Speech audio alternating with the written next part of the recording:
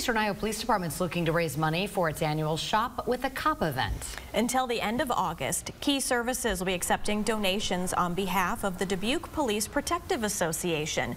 Last year, they raised about $30,000 and helped more than 100 children buy back-to-school clothing and supplies.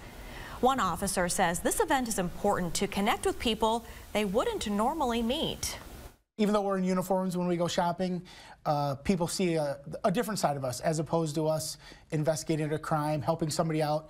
They're seeing us in a more uh, real fashion as our everyday lives, just going shopping with the people. And we build relationships. That's ultimately what the goal is, is to build relationships. The city's 12th annual Shop with a Cop will be held in September.